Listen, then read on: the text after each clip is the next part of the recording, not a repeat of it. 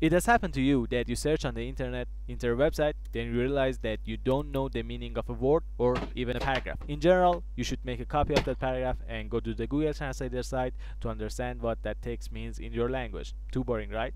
In this video, I wanted to tell you how I can do it in less than 5 seconds. So if you want to find out how, stay with me. Open your browser. It does not matter that you use Chrome, Microsoft Edge, Opera. You just simply need to type Chrome Web Store extension. Open this website. I put this link on the description. In here, you need to type mouse tool tip you need to click on that in here you need to press add to chrome press on add extension if you click on this puzzle pin this mouse tip you can go in there and do the things that you want it has translate into english.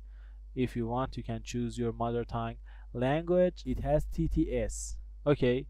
If you press left control on your keyboard it will be appear tts means text to speech. Start with a programming language.